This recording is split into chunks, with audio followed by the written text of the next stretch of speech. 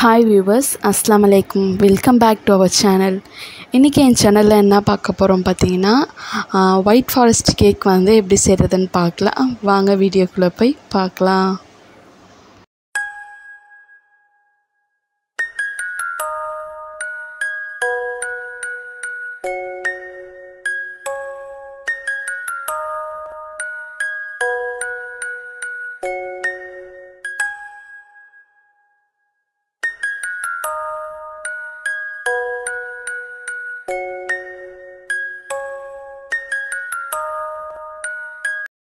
இப்போ நம்ம ஃபஸ்ட்டு செரி சிரப் ரெடி பண்ணிக்கலாம். அதுக்கு வந்து நான் டூ டேபிள் ஸ்பூன் மாதிரி சுகர் ஆட் பண்ணி தண்ணி ஊற்றி நல்லா கொதிக்க வச்சுருக்கேன். இப்போ இதில் நம்ம வந்து செரி ஆட் பண்ணிக்கலாம்.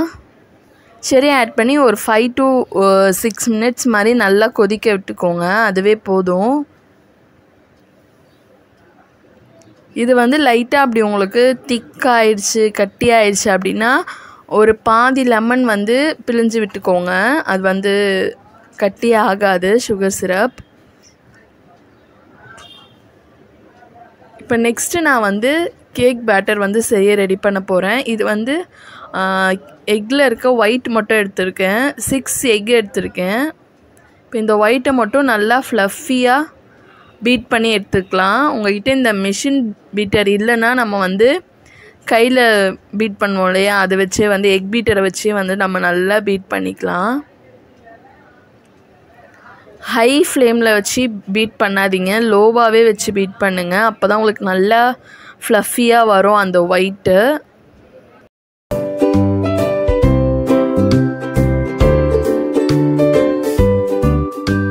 இப்போ வந்து இது நல்லா ஃப்ளஃபியாக ஆயிடுச்சு. ஸோ நான் வந்து ஒன் கப் சுகர் ஆட் பண்ணிக்கிறேன். பவுடர் சுகர் நம்ம வீட்டில் இருக்க சர்க்கரையை வந்து பவுட்ரு பண்ணி எடுத்துக்கோங்க. நல்லா பீட் பண்ணிக்கலாம். அது போட்டு நல்லா பீட் பண்ணிவிட்டு நான் ஒரு ஸ்பூன் மாதிரி வெண்ணிலா எசன்ஸ் எடுத்திருக்கேன். ஸோ அதையும் நம்ம வந்து ஆட் பண்ணிக்கலாம்.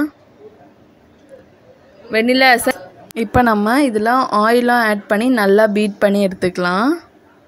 கொஞ்சம் கொஞ்சமாக வந்து ஆயில் ஆட் பண்ணிக்கோங்க.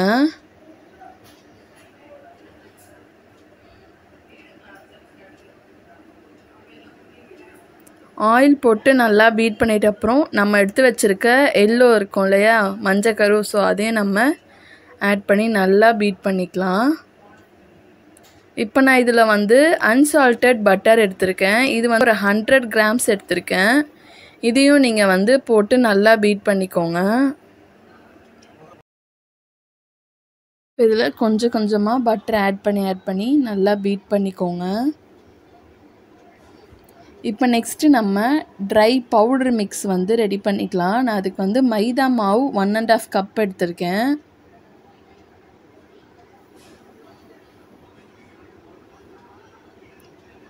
நெக்ஸ்ட்டு வந்து இதில் பேக்கிங் பவுடர் பேக்கிங் சோடா ரெண்டுமே வந்து ஒன் டீஸ்பூன் ஒன் டீஸ்பூன் எடுத்திருக்கேன்.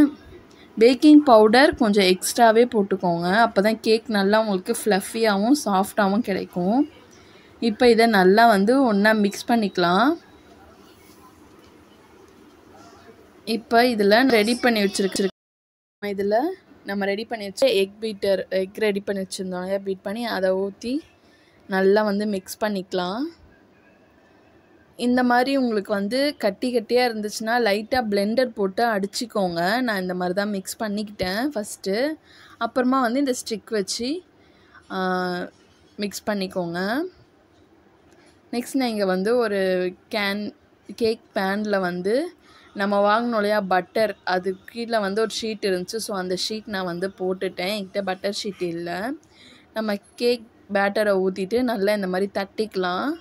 தட்டிட்டு இந்த கேக் ரெடி பண்ணும்போதே நான் வந்து ஒரு பா வந்து ஒரு பத்துலேருந்து பதினஞ்சு நிமிஷம் ஹீட் பண்ணி வச்சுக்கிட்டேன். ஸோ அதில் வந்து இப்போ நம்ம கேக்கை உள்ளே வச்சிடலாம்.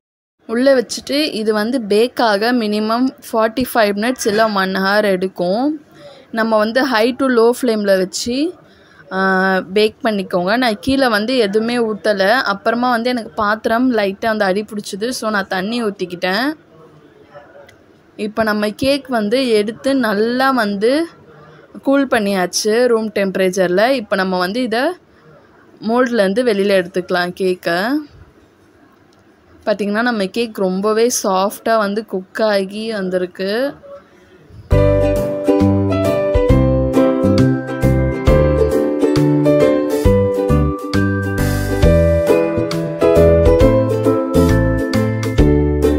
கேக் பார்த்திங்கன்னா தெரியும் நல்லா சாஃப்டாக வந்திருக்கு. இப்போ நம்ம இதுக்கு நெக்ஸ்ட்டு விப் க்ரீம் ரெடி பண்ணி எடுத்துக்கலாம். நான் வந்து இன்றைக்கி அமுல் விப் க்ரீம் எடுத்திருக்கேன். ஸோ இதுலேயே வந்து பார்த்திங்கன்னா நம்ம எப்படி எப்படி செய்யணும் அப்படி ஹவு டு யூஸ் அப்படின்னு கொடுத்துருக்காங்க. இதை நம்ம பார்த்து விப் பண்ணிக்கலாம் க்ரீமை நான் இதை எப்படி விப் பண்ணேன்னு பார்த்தீங்கன்னா கீழே ஒரு ஐஸ் பாத்திரம் ஃபுல்லாக ஐஸ் கட்டி ஸோ அதுக்கு மேலே ஒரு பவுல் வச்சு அதில் வந்து கூல் விப் க்ரீம் தான் இருக்கணும் whip cream cool whip cream எடுத்து வச்சுட்டு அதை வந்து நல்லா வந்து பீட் பண்ண ஸ்டார்ட் பண்ணிடுங்க. எப்படியோ வந்து விப் க்ரீம் பீட் ஆக one to one and half hours ஆகும் சாலிடாக நம்ம வந்து ரூம் டெம்பரேச்சர் ரொம்ப ஹீட்டாக இருந்துச்சுன்னா அது வந்து ரொம்ப லிக்விடாக ஆகிடுது ஸோ நீங்கள் வந்து சில்லுன்னு இருக்க ஏரியாவாக பார்த்து நல்லா வந்து பீட் பண்ணிக்கோங்க. நல்லா காற்று உள்ள இடமா அந்த மாதிரி நல்லா வந்து சில்னஸ் இருக்க ப்ளேஸாக பார்த்து பண்ணுங்க. இன்னும் இது வந்து லைட்டாக கட்டி ஆகணும். ஸோ நம்ம இன்னும் பீட் பண்ணிக்கலாம். பீட் பண்ணிவிட்டு எக்ஸஸை ஃப்ரீசரில் வைக்காதீங்க. ஃப்ரிட்ஜில் வச்சுட்டு எடுத்து திருப்பி நம்ம பீட் பண்ணணும். ஸோ இப்போ வந்து இது ரெடி ஆயிடுச்சு இப்போ நம்ம கேக்கை வந்து லேயர் கட் பண்ணிக்கலாம். நான் இந்த கேக்கை வந்து த்ரீ லேயராக வந்து கட் பண்ணியிருக்கேன்.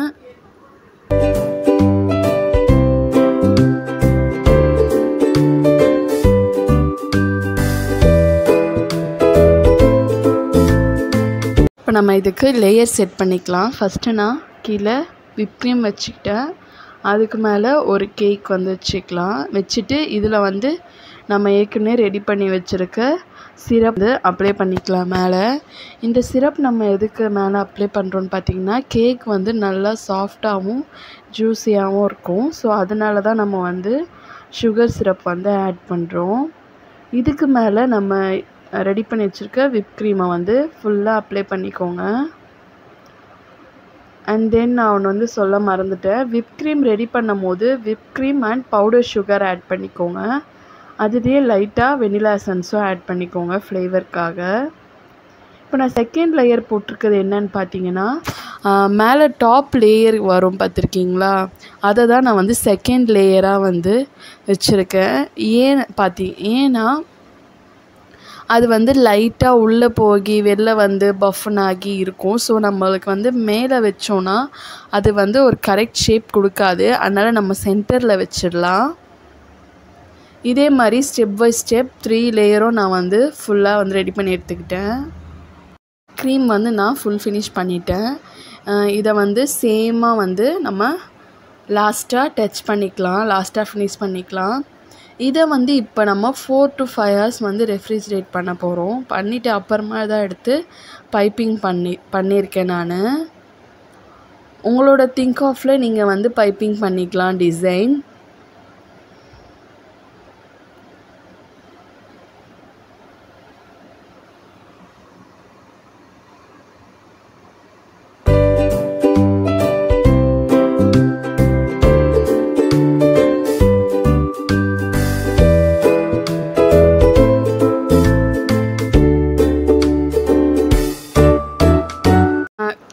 கீழே என்ன கொடுத்துருக்கேன்னா லைட் க்ரீன் கொடுத்துருக்கேன். கீழே லைட்டாக வந்து லைட் க்ரீன் கொடுத்து பைப்பிங் கொடுத்துருக்கேன்.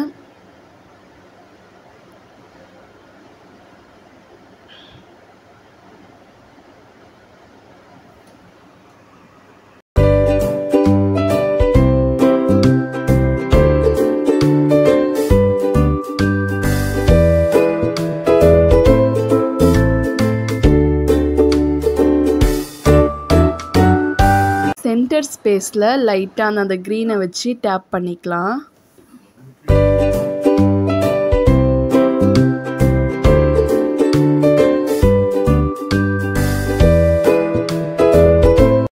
இப்போ வந்து பைப்பிங் ஃபுல்லாக ஃபினிஷ் பண்ணியாச்சு.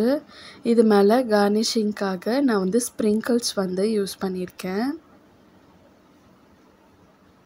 கலர் ஸ்ப்ரிங்கிள்ஸ்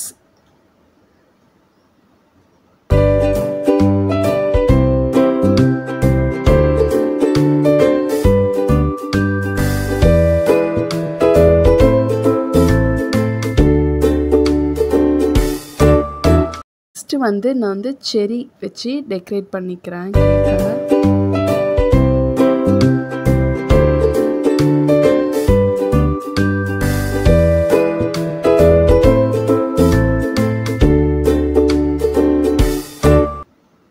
இப்போ நம்ம இதை ஃபுல்லாக டெக்கரேட் பண்ணிவிட்டு நம்ம வந்து ரெஃப்ரிஜரேட் பண்ணிடணும் ஃப்ரிட்ஜில் வச்சிடணும். அப்போ தான் கேக் வந்து நல்லா செட் ஆகும்.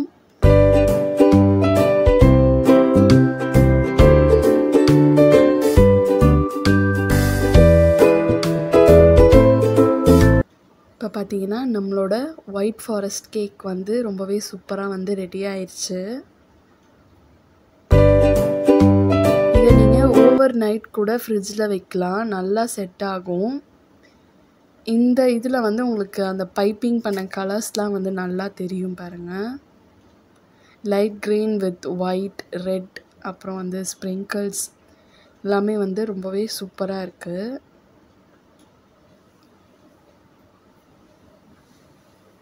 ஸோ இப்போ நம்ம இதை கட் பண்ணி எடுத்துக்கலாம். பார்த்தீங்கன்னா தெரியுதா உங்களுக்கு த்ரீ லேயர்ஸ் நீங்கள் இன்னும் நிறையா க்ரீம் வச்சிங்கன்னா இன்னும் நல்லாவே தெரியும். இந்த ஒயிட் ஃபாரஸ்ட் கேக் இந்த கேக் உங்களுக்கு பிடிச்சிருந்துச்சுன்னா என் சேனலை மறக்காமல் லைக் ஷேர் அண்ட் சப்ஸ்கிரைப் பண்ணிக்கோங்க. தேங்க்யூ ஃபார் வாட்சிங் அஸ்லாம் வலைக்கும்